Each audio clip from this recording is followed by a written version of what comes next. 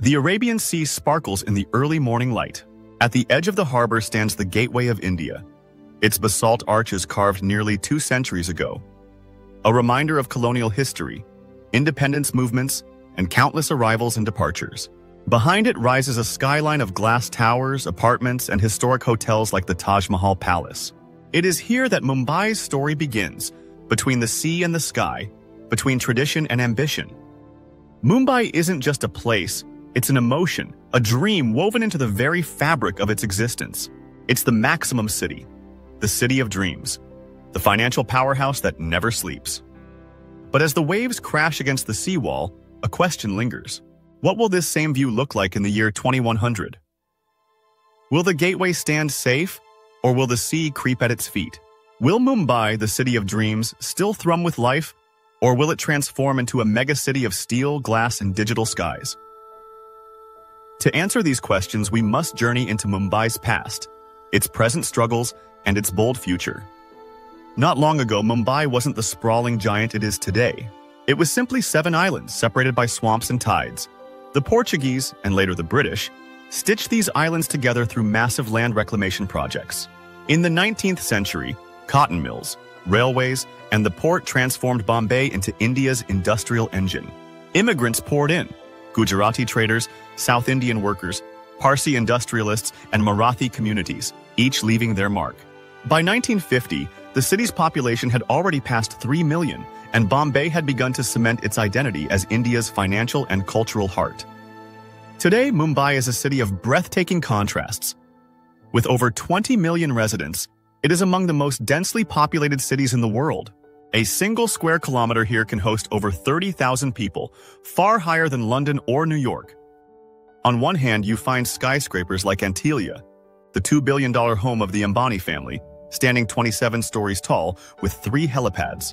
On the other, you find Dharavi, Asia's largest slum, where nearly 1 million people crowd into just 2.1 square kilometers, living in tin roof houses and narrow lanes no wider than 2 meters. Yet, Dharavi is no ordinary slum. It is a hub of recycling, pottery, leather, and small-scale manufacturing, producing goods worth nearly 1 billion dir annually. Transport is Mumbai's lifeline. Every day, the city's iconic suburban trains carry more than 7.5 million passengers, more than the entire population of Switzerland. The Western, Central, and Harbor lines hum with activity from dawn until midnight, often so crowded that people hang out of doors or ride on rooftops. Buses, taxis, rickshaws, and ferries add to the mix, while new metro lines are slowly emerging as alternatives. For decades, Mumbaikars have joked that if the trains stop, the city itself stops. Economically, Mumbai is unmatched in India. It generates more than 6% of the nation's GDP, hosts the Bombay Stock Exchange, Reserve Bank of India, and countless corporate headquarters. It is the country's financial engine, but it is also the beating heart of Indian culture. Bollywood, based in Mumbai, is the world's largest film industry, producing more than 1,000 films a year, exporting Indian music, fashion, and stories worldwide.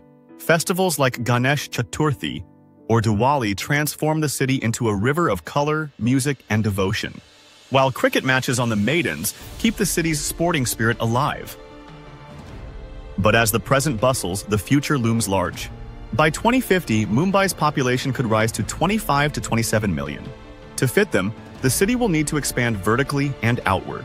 Already, skyscrapers dominate areas like Lower Parel and Bandra Kurla Complex. By mid-century, Mumbai may rival Shanghai or New York in skyline dominance. Housing redevelopment projects are underway in Dharavi and across the city, aiming to replace cramped informal housing with modern high-rises. Yet experts warn that without careful planning, such projects may erase livelihoods and force people out of the very neighborhoods that sustain them. By 2050, Mumbai's transport system will look radically different. The Mumbai Metro, currently under construction, could become one of the largest urban rail systems in the world, rivaling Tokyo's. The Mumbai-Ahmedabad bullet train, already in progress, will shrink the 500-kilometer journey to less than two hours. Hyperloop technologies may even connect Mumbai to Pune in just 15 minutes. Imagine stepping into a pod at Bandra and emerging in Pune before you've even finished your cup of chai. Economically, Mumbai will tighten its grip as India's financial capital. With India projected to become the world's second largest economy by mid-century, Mumbai could join the ranks of London, New York, and Singapore as a global financial hub. Digital banking, fintech startups, and AI-driven stock exchanges may dominate, making the city's financial core a blend of tradition and innovation.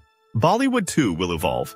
By 2050, audiences may no longer watch films but enter them, experiencing entire stories through VR headsets or holographic theaters. But what about the year 2100? That's where Mumbai's story becomes both thrilling and uncertain. The biggest threat will be climate change. With its long coastline and low-lying areas, Mumbai is among the most vulnerable cities in the world. Studies suggest that by 2100, large parts of South Mumbai, including Marine Drive, Worli, and even the Gateway of India, could be underwater. The Arabian Sea is expected to rise by more than a meter by then, and combined with intense monsoons, the risk of flooding could force massive infrastructure changes. Will Mumbai build Dutch-style seawalls like Rotterdam? Will it create floating neighborhoods like those in Singapore? Or will new satellite cities rise inland, drawing population away from the coast?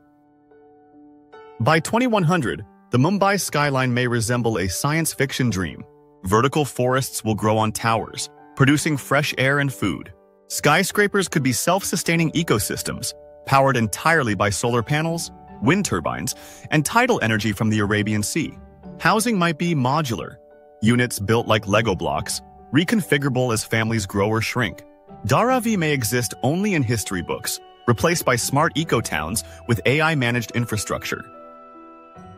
Transport will be unrecognizable in next 80 years.